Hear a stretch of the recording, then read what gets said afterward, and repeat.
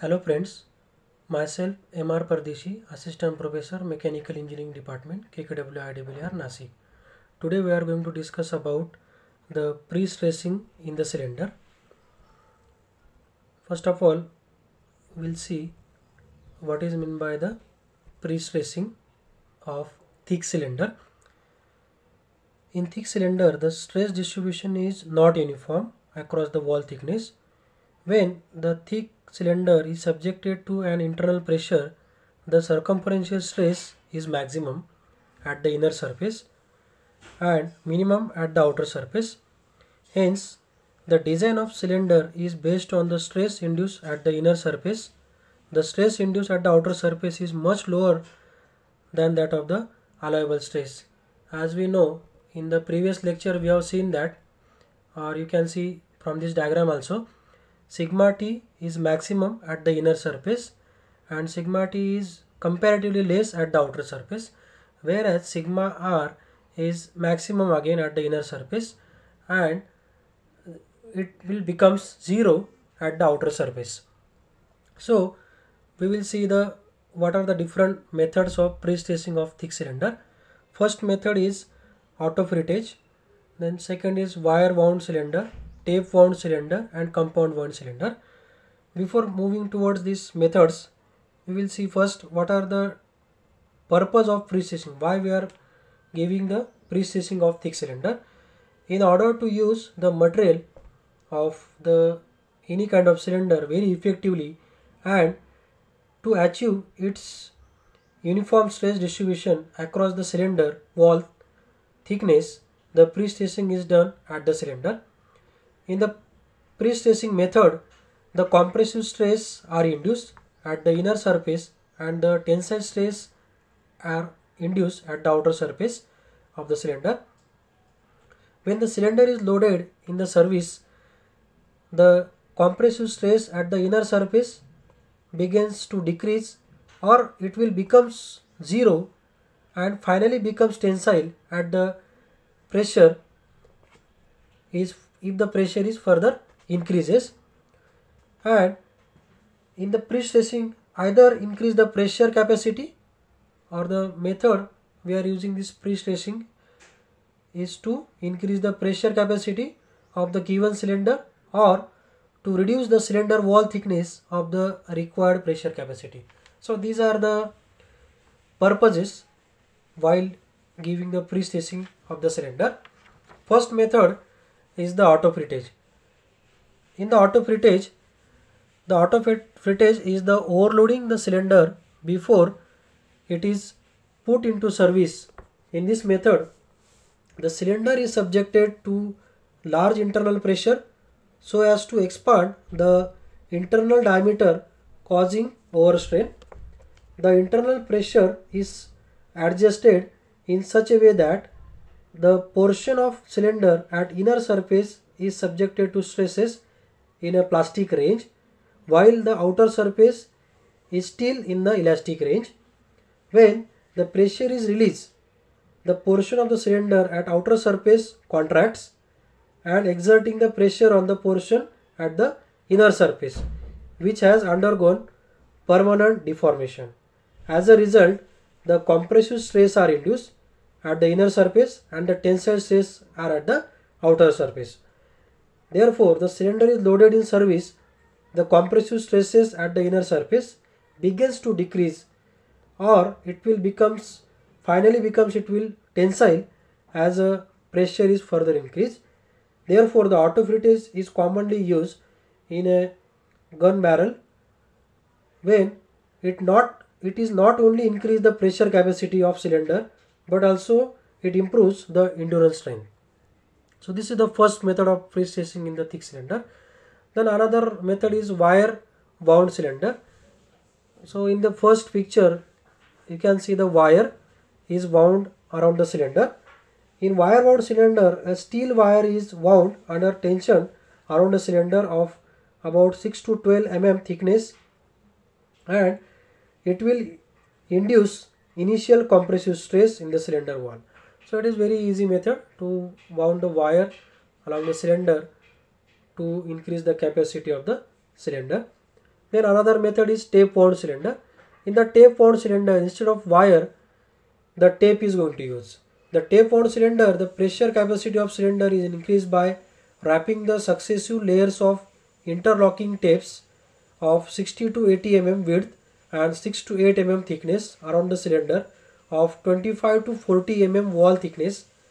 And it has some spiral grooves you can see here the spiral grooves are there. Are cut on the cylinder surface and the tape wound tape is also grooved so that it will interlock with successive layers. The layers is offset from the preceding layer to get the proper interlock and it also increase the axial strength also. So during the winding of the particular tape it is heated so that on the cooling it will induce initial compressive stress or it will contract and due to that contraction it will induce the compressive stress in the cylinder wall. So again it is very easier method tape wound and the wire wound. Then another method is the compound cylinder. In this diagram you will get clear idea. Here is the DC is the inner diameter of the inner cylinder then DM DM is the inner diameter of the jacket or outer diameter of the inner cylinder in mm then DJ DJ is the outer diameter of jacket or outer cylinder in mm here again the internal due to the internal pressure this is the P right? And this is the internal cylinder. This is this P is now in a from the outer side and in this cylinder the P is now from the internal side. Here the jacket jacket is using then the it is heated and expand sufficiently to move over the inner cylinder.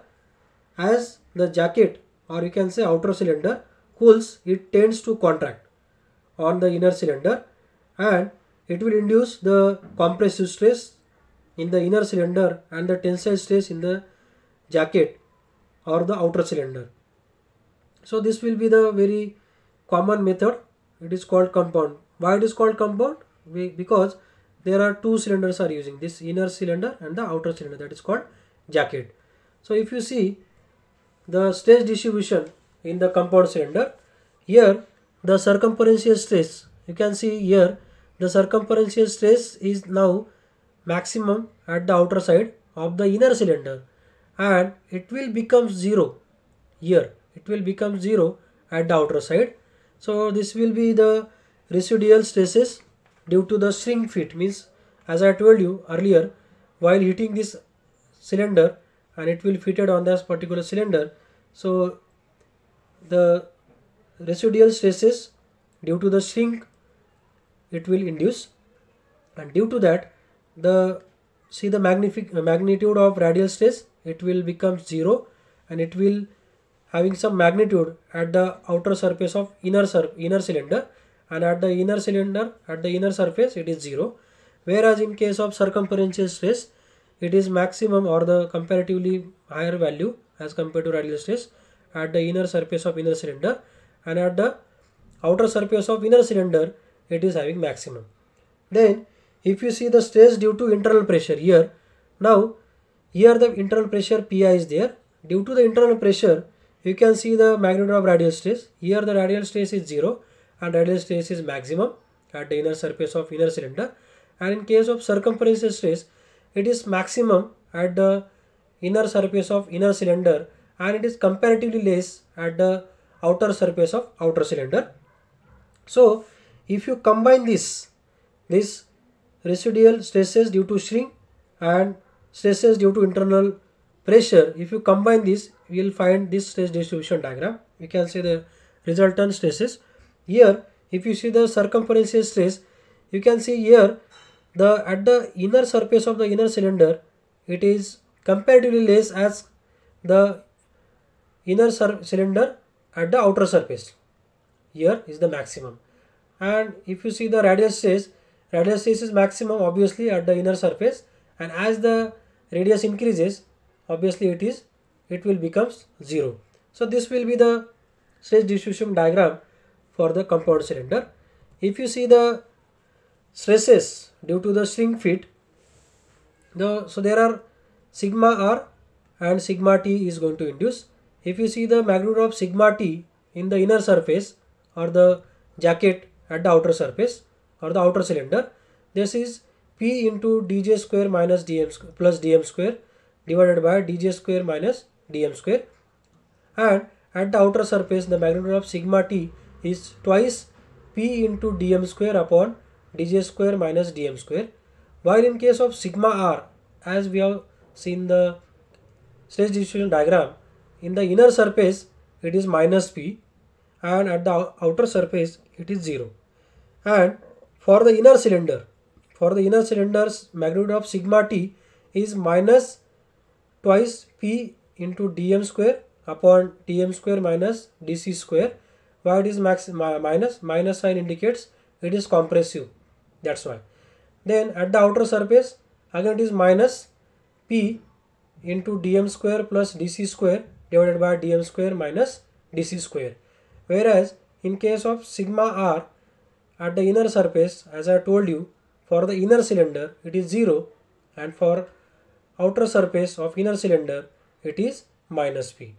If you see clearly the stress distribution diagram again as I earlier explained you can easily write this particular stresses due to shrink. So if you see the dimensions uh, delta j and at the outer outer cylinder and delta j for the inner cylinder. So increasing in inner diameter of jacket that is called outer cylinder in terms of dj delta j delta j is nothing but p into dm upon capital E into dj square minus dm square upon dj square minus dm square plus nu where cap p is the internal pressure and capital E is modulus of elasticity nu is the Poisson's ratio and these are various diameters. Then second is decreases in outer diameter of inner cylinder delta J. Delta J is equals to P into dm upon capital E into dj square plus dm square upon dj square minus dm square plus dm square plus dc square upon dm square minus dc square. So here again these are the diam diameters capital E is the modulus of elasticity and P is the internal pressure. So this will be the end of pre-stressing method of pre-stressing of thick cylinder. In next lecture we will see the earlier uh, previous earlier parts or the various stresses induced in the thick cylinders. Thank you. Thank you for watching.